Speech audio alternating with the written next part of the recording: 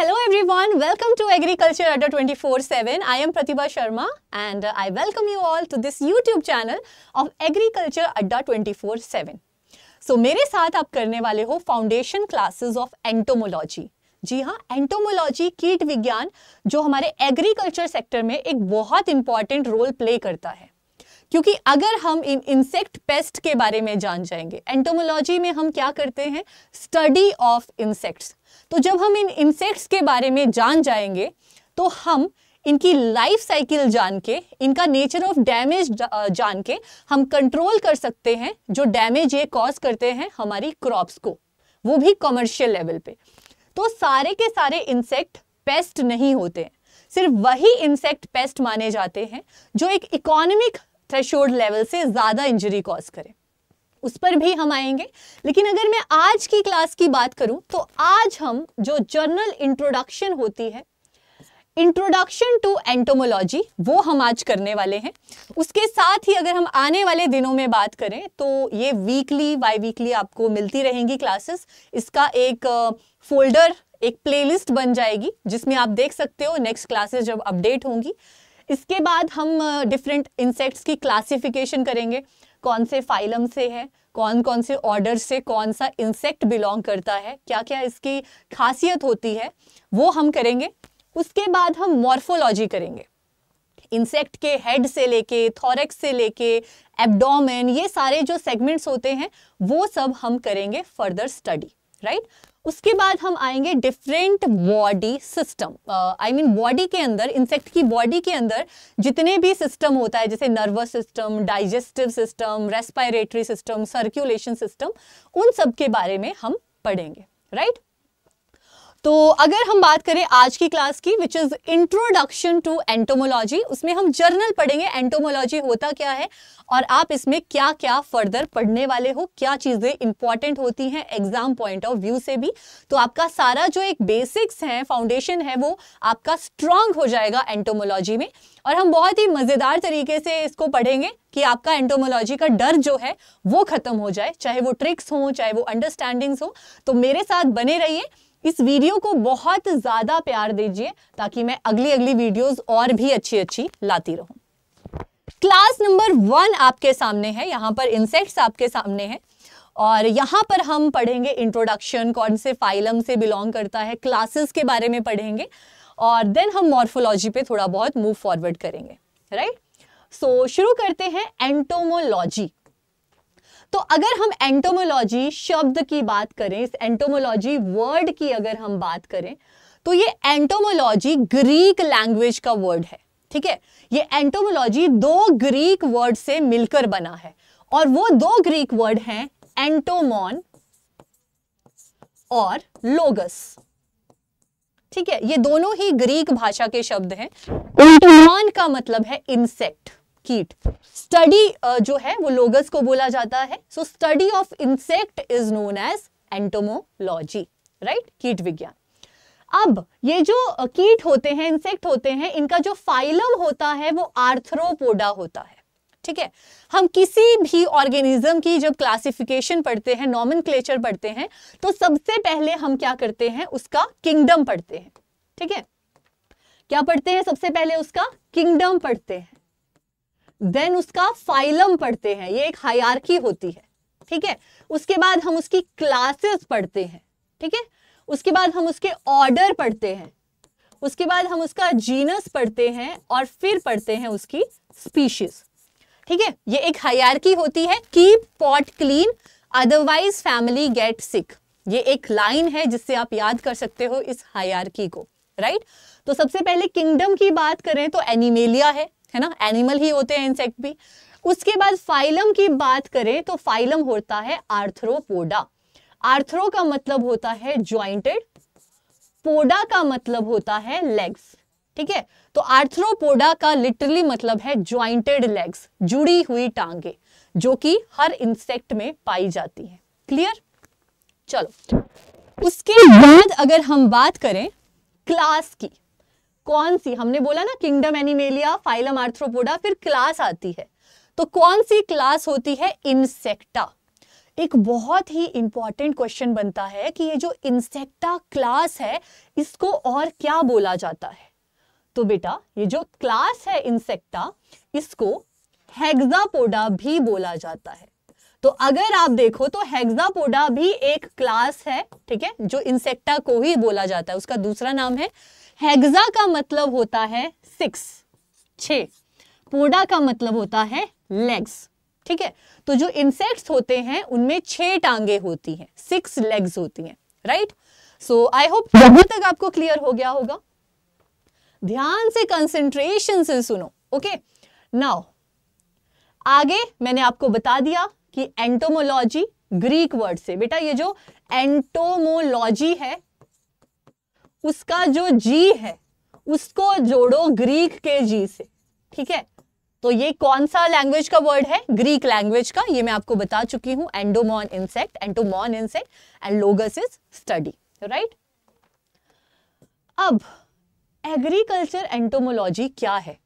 अगर हम सारे इंसेक्ट्स के बारे में पढ़ रहे हैं that is your basic broad zoology वाली एंटोमोलॉजी लेकिन अगर हम एग्रीकल्चर एंटोमोलॉजी की बात करें तो हम उन इंसेक्ट की स्टडी करते हैं जो डायरेक्टली रिलेटेड है क्रॉप से, यानी आपके पेस्ट वो पेस्ट जो क्रॉप्स को खाते हैं, ठीक है? उनको डैमेज करते हैं या स्टोरेज पेस्ट होते हैं उनके बारे में स्टडी करते हैं राइट एग्रीकल्चर गुड्स वही हो गए जो आपने स्टोर्ड ग्रेन्स रखे हैं राइट स्टोर्ड ग्रेन रखे हैं, वो है एग्रीकल्चर गुड्स और क्रॉप्स तो आपको पता ही है डिफरेंट डिफरेंट क्रॉप्स में डिफरेंट डिफरेंट पेस्ट पाए जाते हैं, चाहे वो एज अ वेक्टर काम करते हैं, जो बीमारियाँ फैलाते हैं, या तो डायरेक्ट फ़ीड करते हैं उन क्रॉप्स के ऊपर, ठीक है? सो यही है कृषक एंटोमोलॉजी जहाँ पर उन कीड़ों का अध्ययन किया जाता है, जो सीधे फ़सलों को बर्बाद करते हैं, या उससे एग्रीकल्चर गुड्स को बर्बाद करते हैं। ठीक है? अगर हम बात करें कि ये एंटोमोलॉजी के कीट विज्ञान के फादर कौन है, जनक कौन है तो वो है विलियम किरबी ठीक है? ये भी एक इंपॉर्टेंट क्वेश्चन माना जाता है, ठीक है? तो अभी तक हमने पढ़ा एंटोमोलॉजी क्या है? लिखकर बताओ। स्टडी ऑफ़ इंसेक्ट एंटोमॉन का मतलब क्या है? इंसेक्ट लोगस का मतलब टू स्टडी एंटोमोलॉजी कौन सा वर्ड है? ग्रीक लैंग्वेज का वर्ड है है ना? अब हम मूव फॉरवर्ड होते हैं पेस्ट के ऊपर। तो पेस्ट से पहले हम इंसेक्ट को जान लेते हैं कि ये जो इंसेक्ट है, वो आपका लेटिन लैंग्वेज का वर्ड है, ठीक है? तो बेटा ये जो लेटिन है, उसका आई एन पे खत्म हो रहा है और इंसेक्ट आई एन पर शुरू हो रहा है, ठीक है?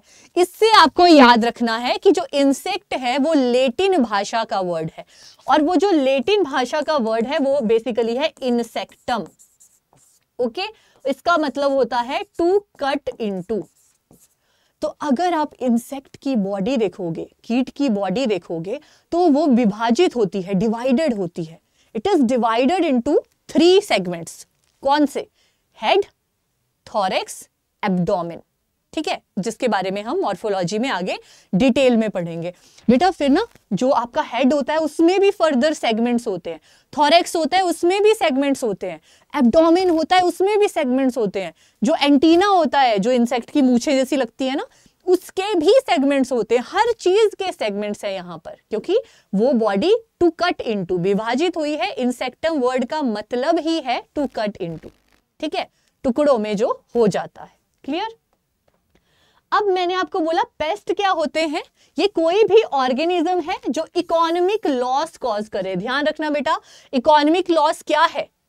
अगर आपके आपके पास कितने रुपए हो सकते हैं यार? हज़ार रुपए है, मान लिया, हज़ार रुपए है। किसी ने तुम्हारा दो रुपए का सिक्का चुरा लिया, दो रुपए का सिक्का।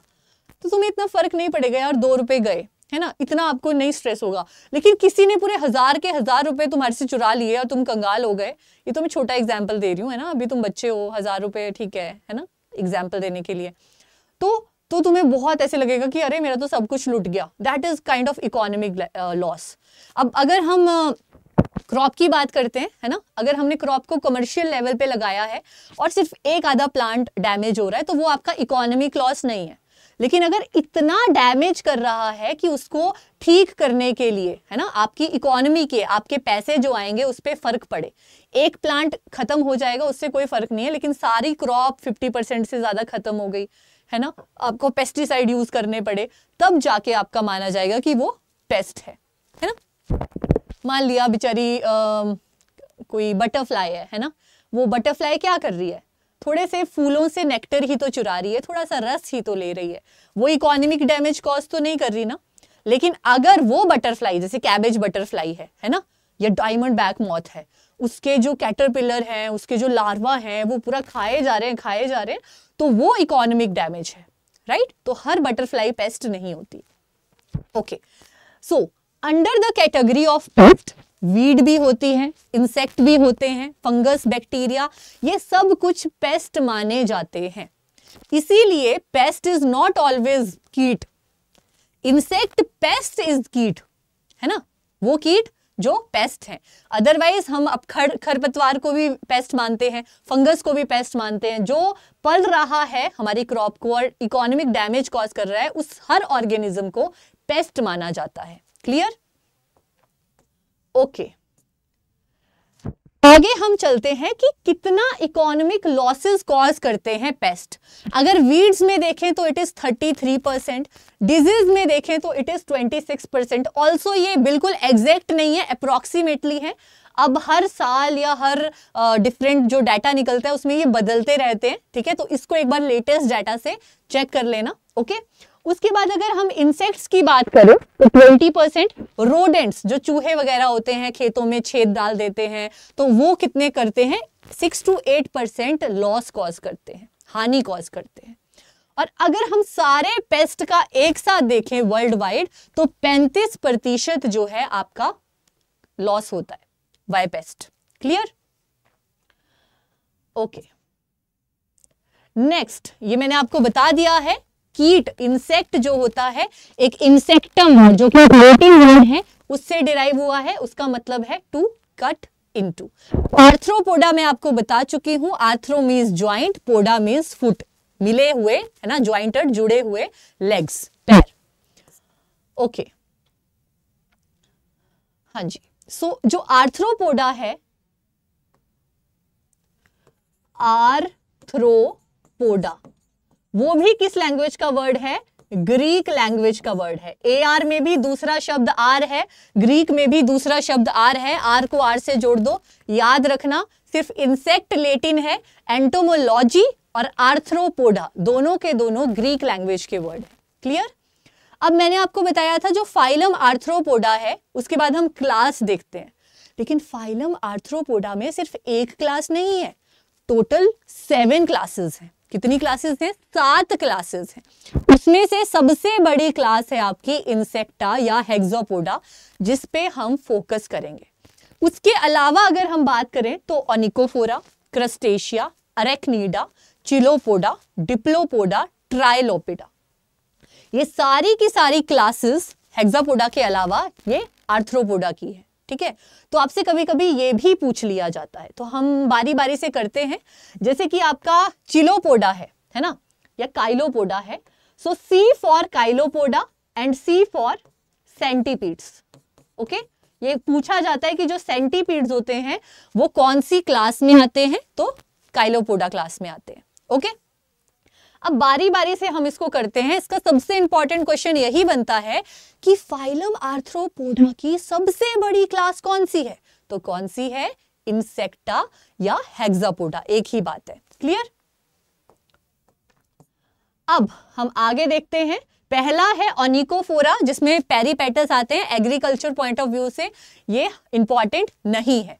अगर हम दूसरी क्लास की बात करते हैं इट इज़ क्रस्टेशिया इसमें जितने भी प्रॉन्स क्रैब्स वो सब आते हैं ठीक है?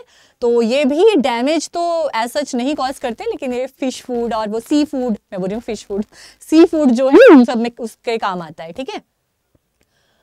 ओके अरेक्निडा तो बेटा ये इंपॉर्टेंट है। यहाँ से आपके दो क्वेश्चन बन जाते हैं ऑलमोस्ट दो क्वेश्चन बन जाते हैं ठीक है?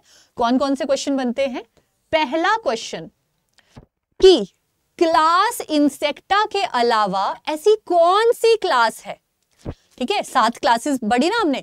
अब क्लास इंसेक्टा के अलावा ऐसी कौन सी क्लास है जो इंपॉर्टेंट है एग्रीकल्चर में?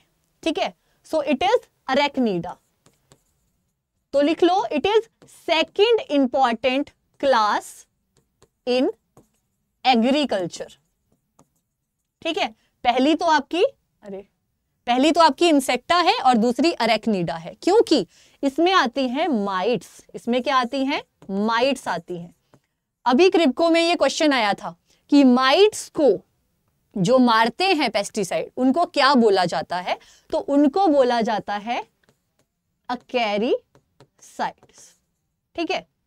तो अरेक्नीडा इसकी क्लास है माइट्स इसमें आती हैं जो कि डैमेज कॉज करती है हमारी एग्रीकल्चरल क्रॉप्स को। बेसिकली uh, अगर बोला जाए तो पॉली हाउस में इसका बहुत इन, uh, जो इन्फेस्टेशन है वो रहता है राइट सो so, अब दूसरा क्वेश्चन आता है कि क्यों अरेक्नीडा को क्लास इंसेक्टा में नहीं रखा गया? क्यों एंट्री नहीं मिली? क्यों नहीं मिली? क्योंकि इसमें एट लेग्स होती हैं ठीक है? यानी फोर पेयर्स ऑफ़ लेग होती हैं और हमने बोला कि इंसेक्टा तो हेक्सापोडा है यानी सिक्स लेग्स हैं। तो इसीलिए इसको बाहर कर दिया गया क्योंकि ये एट लेग्स वाला था। सेकंड इसमें कुछ वेनम भी होता है ठीक है? कुछ जह, जहरीला पदार्थ होता है तो इसलिए भी इसको निकाल दिया और सबसे मोस्ट तो यही था कि इसकी एट लेग्स होती थी। क्लियर हो गया? चलो।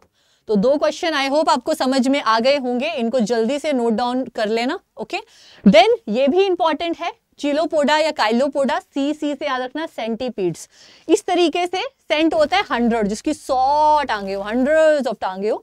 तो इस तरीके से सेंटीपीड्स जो हैं वो होते हैं ठीक है?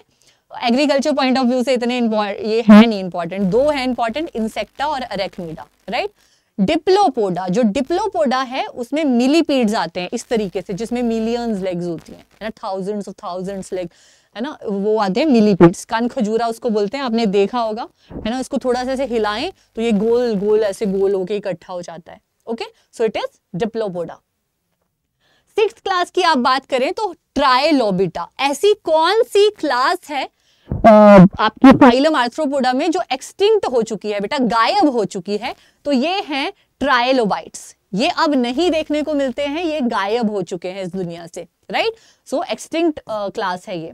फिर आती है last but not the least होता है ना बेस्ट चीज़ सबसे लास्ट में आती है. तो ये है हमारी क्लास इंसेक्टा जितने भी इंसेक्ट होते हैं मोस्ट ऑफ़ द पेस्ट होते हैं ये इसी क्लास से. Question largest class of phylum Arthropoda right clear हो गया? मतलब इतने ज़्यादा होते हैं ये कि ऐसा भविष्यवाणी की गई है कि एक टाइम ऐसा आएगा कि ये मतलब ये जो धरती है इस पे इंसानों का नहीं इन कीटों का इन इंसेक्ट्स का राज होगा राइट जो मधुमक्खियाँ हैं कितनी सारी होती हैं झुंड में एंड्स हैं आपकी टर्माइट्स हैं तो बहुत सारी है दी, दीमक ये वो। तो आई होप आपको ये सारी seven out of seven classes समझ में आ गई होंगी। इंपॉर्टेंट क्वेश्चन अरेक्नीडा वाले तीन क्वेश्चन कर लेना अकैरिसाइड्स वाला ठीक है? सेकंड कर लेना कि क्यों नहीं रखा गया उसको क्योंकि एट लेग्स हैं एंड वेलम होता है। थर्ड क्वेश्चन कि एग्रीकल्चर पॉइंट ऑफ़ व्यू से हेक्सापोडा के बाद सेकंड इंपॉर्टेंट क्लास कौन सी है? वो है अरेक्नीडा फोर्थ क्वेश्चन माइट्स जो होती हैं वो कौन से क्लास को बिलोंग करती हैं? तो वो बिलोंग करती हैं अरेक्नीडा क्लास को। इतना क्लियर हो गया? Okay so next is this is insect insect कौन सी लैंग्वेज वाले वर्ड से आया है? कौन सी लैंग्वेज वाले? लेटिन राइट और लेटिन लैंग्वेज में इसका मतलब क्या है? टू कट इनटू है ना? तो इसको कट करते हैं अब हम, है ना? अब इसका डाइसेक्शन करेंगे, अब देखेंगे इसमें क्या क्या होता है और फिर मॉर्फोलॉजी में घुस जाएँगे। तो यहाँ पर आप देखो, सबसे पहले ये जो है ना, ये है इसका हेड मैंने बोला था, कितने सेगमेंट होते हैं बेटा? थ्री सेगमेंट्स लिख लो। क्वेश्चन आता है, कितने सेगमेंट्स में विभाजित है इंसेक्ट थ्री सेगमेंट्स में? कौन कौन से थ्री सेगमेंट हेड थॉरेक्स ये लिखा है ना थॉरेक्स और ये वाला पोर्शन एबडोमेन ठीक है? फ़िलहाल इतना ही याद रखो कि थ्री सेगमेंट्स होते हैं हेड थॉरेक्स एबडोमेन इनके अंदर क्या क्या होता है वो मैं डिटेल में क्लास नंबर टू में मॉर्फोलॉजी में हम क्लास नंबर थ्री है मॉर्फोलॉजी की। सबसे पहले हम ऑर्डर्स वगैरह देख लेते हैं, ठीक है? देन हम इसको भी साथ साथ में करते जाएँगे कि कहाँ पर विंग्स होते हैं, है ना? जैसे कि यहाँ पर आप देख सकते हो, जो आपके विंग्स हैं फोर विंग्स फोर मतलब आगे वाले, ठीक है? आप बिफोर बोलते हो ना बिफोर पहले, है ना? आफ्टर बाद में तो ये आपका क्या है? फोर विंग्स हैं, आगे वाले विंग्स हाइंड विंग्स बिहाइंड होता है पीछे तो हाइंड विंग्स होते हैं पीछे वाले विंग्स ये दोनों ही विंग्स थोरेक्स पे होते हैं. ठीक है सेगमेंट्स हम बाद में करेंगे. देन ये आपका एब्डोमिन है. देन यहाँ पे आपकी कंपाउंड आईज होती हैं. ये मूछें जैसी हैं, ये एंटीना है. ये आपका सर है हेड है ना? आपका नहीं इंसेक्ट का हेड है. ठीक है? ये आपकी लेग्स हैं forelegs middle leg hind leg three pair होते हैं ना बेटा? Three pair of legs six legs पहला पेयर होगा फोर लेग्स बीच वाला मिडल लेग्स और पीछे वाला हाइंड लेग्स ठीक है? तो इसको ध्यान से देखना। इस डायग्राम को एक बार ड्रॉ करके देखना क्या क्या है। अब स्टिक्स कर लेते हैं इसके। इंसेक्ट में सेगमेंटेड बॉडी होती है, खंडित शरीर होता है, ये मैं आपको बता चुकी हूँ। ये टू और थ्री रीजन्स में जो है डिवाइडेड होता है और जो रीजन्स होते हैं हेड थॉरेक्स एब्डोमेन इनको टेगमा बोला जाता है, ठीक है? इंपॉर्टेंट क्वेश्चन है टेगमा क्या होता है? टेगमा आपके ये जो सेगमेंट्स होते हैं तीन इनको बोला जाता है। और बेटा, ये जो विभाजित हुए हैं ना हेड थॉरेक्स एब्डोमेन है ना? ये हेड है, ये थॉरेक्स है, ये एब्डोमेन है। इस विभाजन को बोला जाता है टेगमोसिस क्या बोला जाता है? टेगमोसिस बोला जाता है। और ये रीजन क्या है बेटा?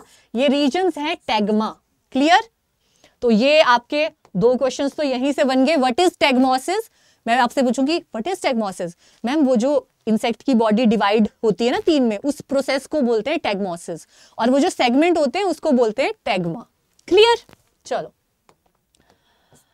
अगले करेक्टरिस्टिक्स की बात करते हैं। इनमें रीन्यूएबल काइटिनस एक्सोस्केलेटन होता है। एक्सो मतलब बाहर वाला। एक्सो का मतलब होता है बाहर। तो बेटा, जो बाहर वाली आउटर कवरिंग है है ना? आउटर वाली स्किन है, सबसे बाहर वाली चमड़ी, वो इंसेक्ट की बोलते हैं उसको एक्सोस्केलेटन जो कि काइटिनस होता है काइटिन से बना होता है, जो कि हम पढ़ेंगे बॉडी वॉल में। अब बेटा बोला है रीन्यूएबल मतलब बार बार वो बदल सकते हैं उसको रिन्यू कर सकते हैं राइट तो जैसे आपने देखा होगा ना, इच्छाधारी नागिन अपनी केंचुली बदलती है हर चांदनी रात को, है ना? तो वैसा वैसा ही कुछ होता है, जो इंसेक्ट्स होते हैं, वो बार बार अपनी स्किन जो है, वो पूरी की पूरी त्यागते हैं और नई स्किन उनमें आती है। उस स्किन के त्यागने को वो बोलते हैं मोल्टिंग ठीक है? मोल्टिंग होती है उसमें।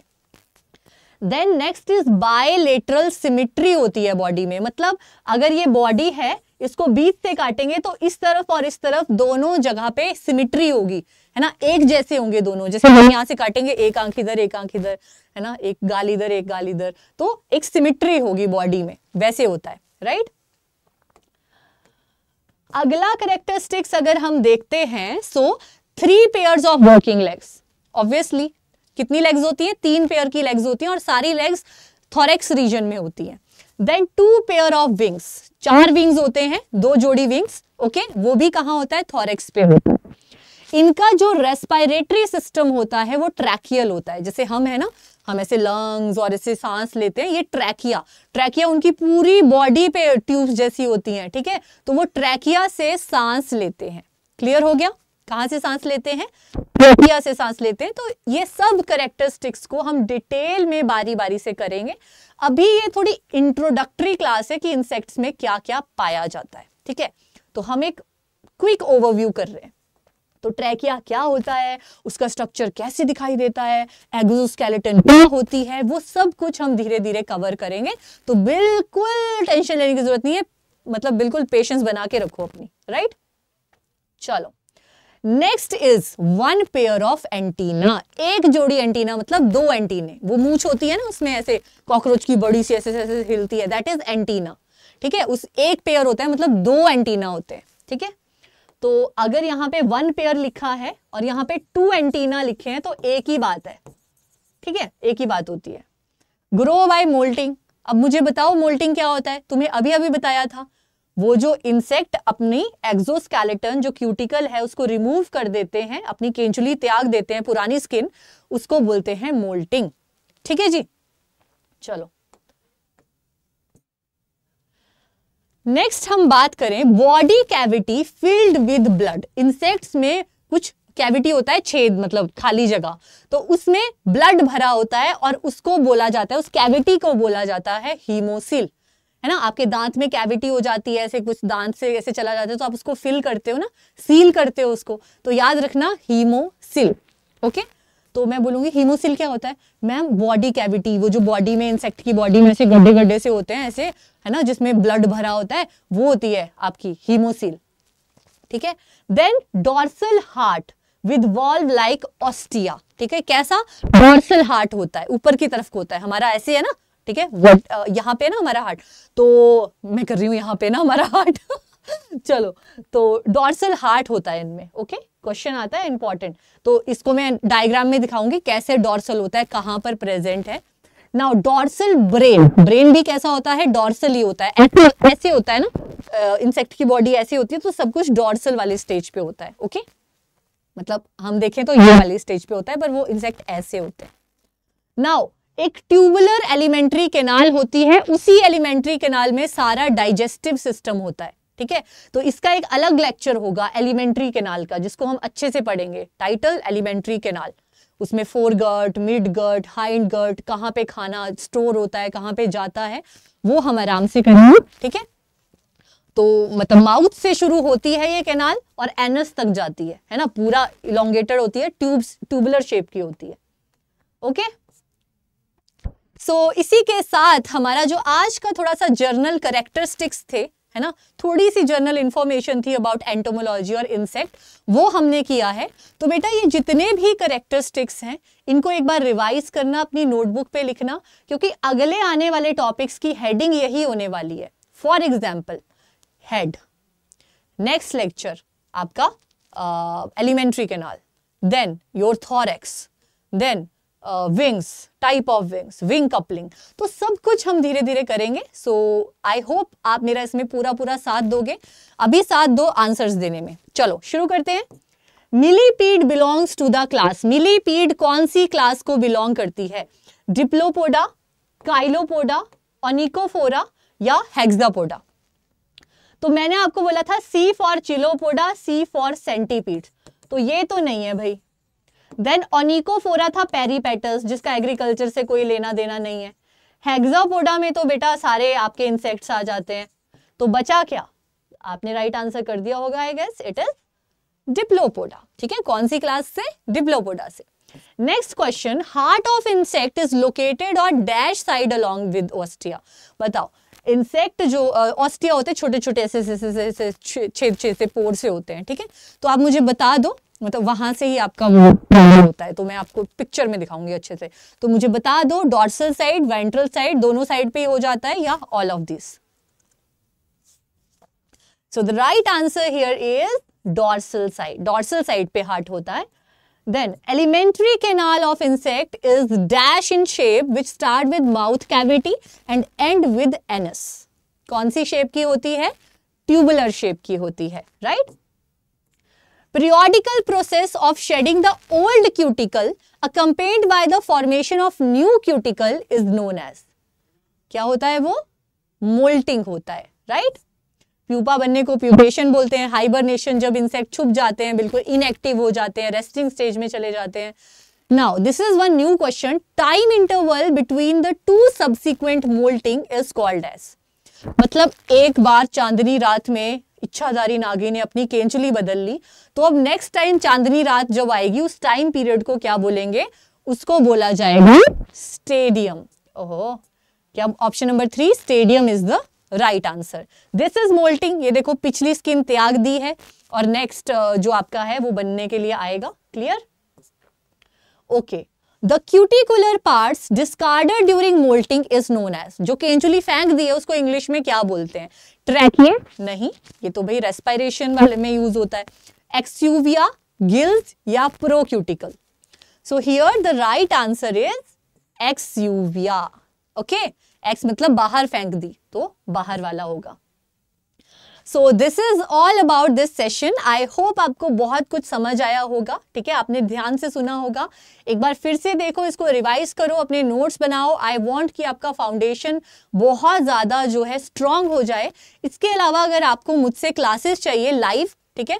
तो मेरी लाइव क्लासेस डिफरेंट बैचेस में, जैसे एएफओ का बैच हमारा लॉन्च हुआ है अभी अभी ठीक है? उसमें आप एनरोल कर सकते हो with coupon code Y seven eight one A ठीक है? सो so, अगर आप कूपन कोड करते हो use Y seven eight one A तो आपको जो है एनरोलमेंट मिल जाएगी। ये उड़ान का फाउंडेशन बैच है। बहुत जल्दी इसमें नई लाइव क्लासेस शुरू होने वाली हैं। ठीक है? Then Y seven eight one A use करके आप किसी भी बैच में एनरोल कर सकते हो। इसके साथ ही एग्रीकल्चर महापैक। मैं आपको बता दूँ मैं आपको पर्सनली बोलूँगी एग्रीकल्चर महापैक क्यों इंपॉर्टेंट है? क्योंकि एग्रीकल्चर महापैक में आपको अगले आने वाले एक साल तक लाइव क्लासेस मिलती रहेंगी मिलती रहेंगी नॉन स्टॉप मिलती रहेंगी सारे कॉम्पिटिटिव एग्ज़ाम्स के लिए। मान लिया, आज हमने कोई बैच लॉन्च किया, ठीक है? उसकी क्लासेस जो हैं, वो ज़्यादा से ज़्यादा एक महीने तक चलेंगी। Okay okay? उसके बाद लाइव खत्म हो जाएगा। लेकिन अगर आप एग्रीकल्चर महापैक लेते हो तो उसके बाद जो हम बार बार बैचेस लेकर आएँगे उन सब का अलग अलग नबार्ड के लिए एफ़ एस एस के लिए या आपका एंटोमोलॉजी का आपको पढ़ना है तो आपको लाइव क्लासेस लगातार मिलती रहेंगी। ऑलमोस्ट uh, सारे कॉम्पिटिटिव एग्ज़ाम्स के लिए ऑलमोस्ट 500 आवर्स की आपको लाइव क्लासेस मिलेंगी। More than 2000 of test series मिलेगी इसमें। Four three two two videos मिलेंगी। इसके साथ साथ आपको 564 ई बुक्स मिलेंगी। और इसकी वैलिडिटी वन ईयर तक रहेगी। कभी कभी होता है टू ईयर की हो। अभी डबल वैलिडिटी फ़िलहाल नहीं है। बहुत आ, हम लिमिटेड उस पर लाते हैं। तो अभी आपको एक साल की वैलिडिटी जो है यहाँ पर मिलेगी। ठीक है? इसके साथ ही हमारे यूट्यूब का क्लासेस का शेड्यूल है तो आपको जेनेटिक्स प्लांट ब्रीडिंग और एंटोमोलॉजी के एमसीक्यू सॉल्व करने हैं डेली बेसिस पे। तो आप मेरी उड़ान क्लासेस छः बजे चलती है, उसको ज्वाइन कर सकते हैं, ठीक है? इसके साथ ही बाकी फैकल्टीज़ की भी यहाँ पर आप देख पा रहे होंगे। तो इसी के साथ हम अपना आज का सेशन ख़त्म करते हैं। आपका जो डिस्क्रिप्शन में डिफरेंट बैचेस के लिंक आपके पास प्रोवाइड किए हैं, आप उस लिंक पे जाइए। ठीक है? आपको कोई भी बैच चाहिए आप आराम से देखिए उसका स्टडी प्लान कब उसमें लाइव क्लासेस होती हैं और मैक्सिमम uh, डिस्काउंट के लिए फ़ीस में Y seven eight one A code use करना ना भूलिए। Thank you so much revise well take care God bless you आप जो भी एग्ज़ाम दो जो भी पढ़ो वो आपको लॉन्ग टर्म तक समझ में आ जाए। आपके साथ हमेशा रहे क्योंकि नॉलेज है जो हमेशा आपके साथ रहता है। सो बाय टेक केयर